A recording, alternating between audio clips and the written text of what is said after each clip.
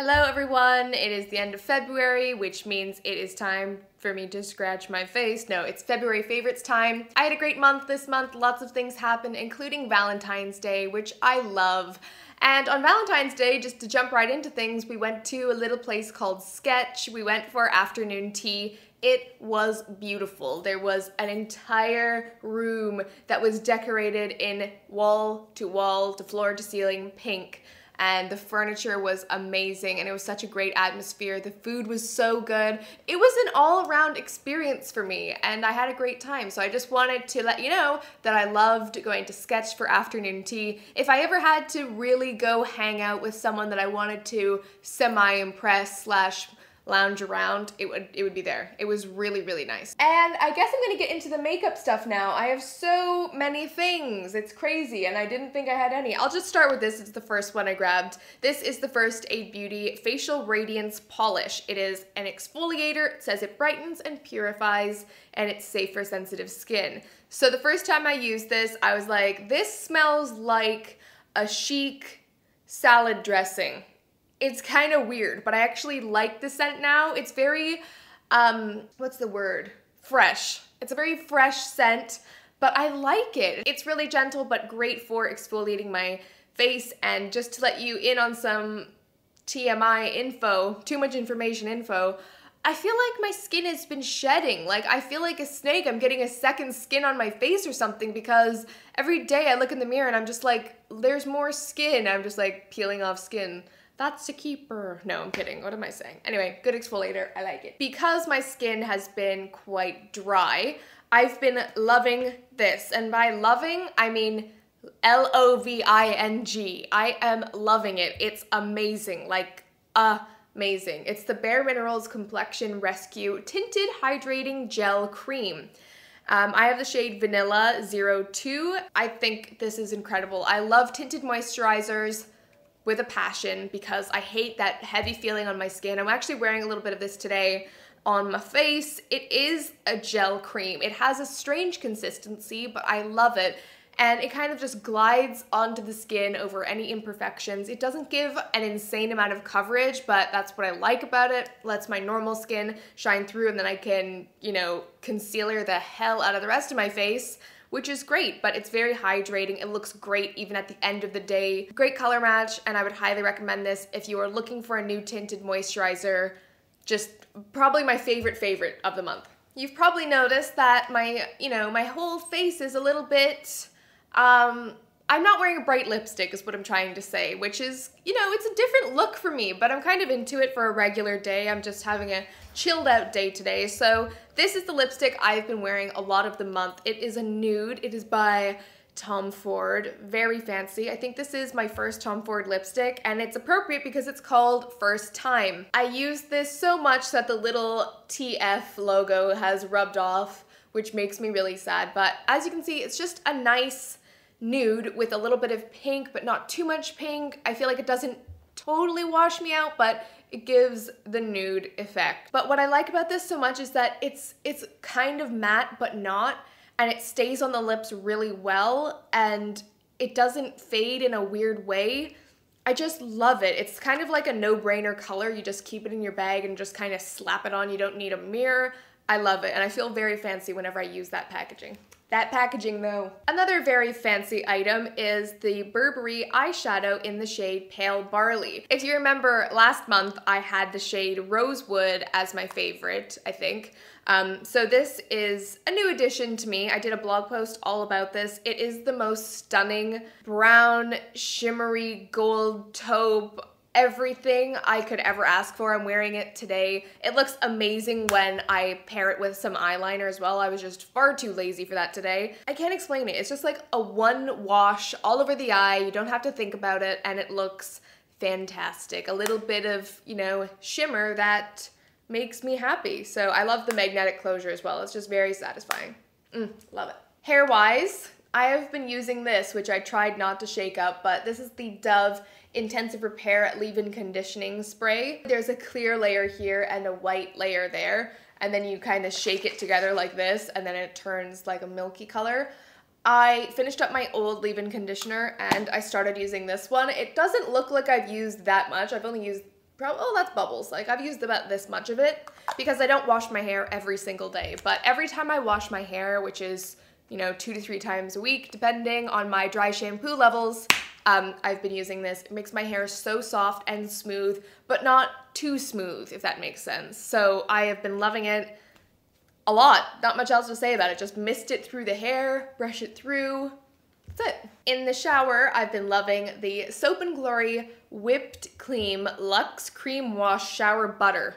That is a long name. It's kind of like a hybrid between a like body conditioner and a shower gel. So I think it's amazing if you've got dry skin. I just love the smell. It's so nutty.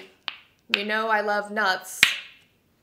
Oh, it smells so good. Kind of almondy, just amazing. I'm gonna give some love to my friend Chelsea's online store. It's called shopnome.com, I believe.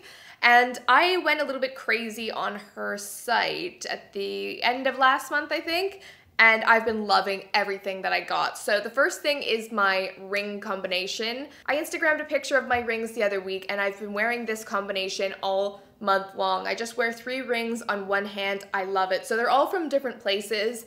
Um, the middle one is from Shop NOME. The one on my index finger is by And Other Stories. And the one on my ring finger is by Another Feather. So I love all of the rings. I will link them down below if I can find them. They are making my life better, basically. I also bought this, which is the Herbivore Botanicals Coconut Bath Soak.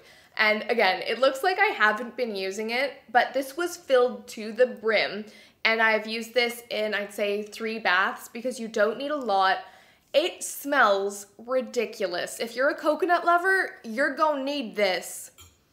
Oh my god, it smells like real coconuts but better, like better than real coconuts. And basically I just sprinkled a tiny bit of this. This is gonna last forever. And it makes your bath so like soft. It makes the water feel so soft and it kind of has a thin foam on the top of the water when you get in. It's just like stepping into a latte. That's what it feels like. You're stepping into a coconut milk latte. It is so good and your whole bath smells like coconut. It's just a wonderful experience. So if you are a coconut lover or know one, I would highly, highly recommend this. And since Chelsea and I are friends, she actually sent me two things as well. So the first thing she sent me was this Soul Sunday The Pits. I'd seen this on her site before. I've always been curious. It's a deodorant. It's a natural deodorant and you know that I love my La Vanilla, but I thought I would give it a go. It's kind of weird because it comes in a jar and you kind of just just like take some and just like smear it on your armpit. So it can be, there's a learning curve to it, definitely. But I suggest warming it up in your hands first and then slapping it on. Otherwise things can get messy. But I was actually amazed at how well this worked. It didn't work for me when I went to the gym. So sometimes when I go to the gym, I need to use something with a little more power, you know, but for every day, this was so nice. So if you're looking for a natural deodorant, check this out. And she also sent me this candle, which I've completely burned. It's down to the down to the bottom. I'm so sad. It's called Vanilla Plum. It's a Shop NOME exclusive, I think, and it's by PF Candle Company, which I love in general. Oh, it actually says NOME exclusive. So yeah, you can only get this on her site, but just a mixture of vanilla and plum. It smells very clean and fresh, takes over the room and in a nice way. Like it almost smells creamy. I'm probably not making sense, but if you're a candle lover, check it out. I have two fashiony favorites I want to mention next. Um, the first thing is really weird. Like you're not even gonna believe that I've worn these, but I have heels. High heels. How strange. It's weird, I know. So I bought these because my friend Monikh has them like plastered all over her Instagram. I'll link to her Instagram down below because she has amazing style.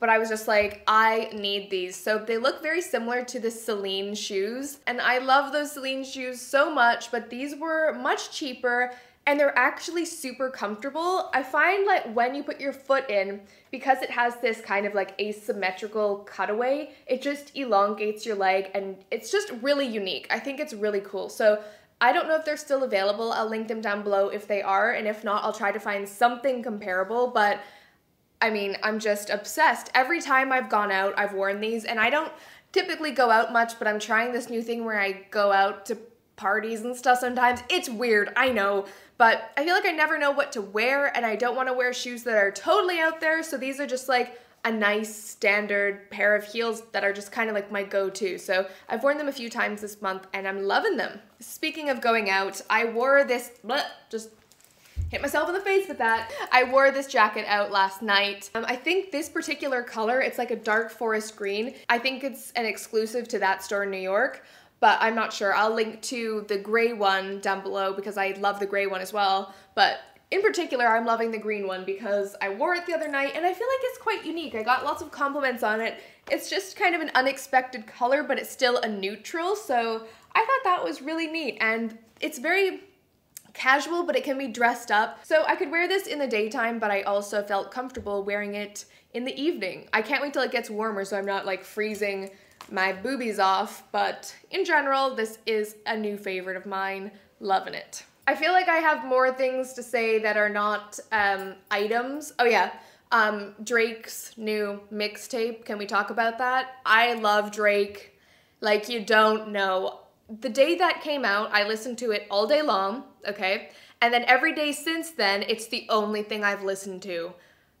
The only thing I've listened to. I have all the feels about it.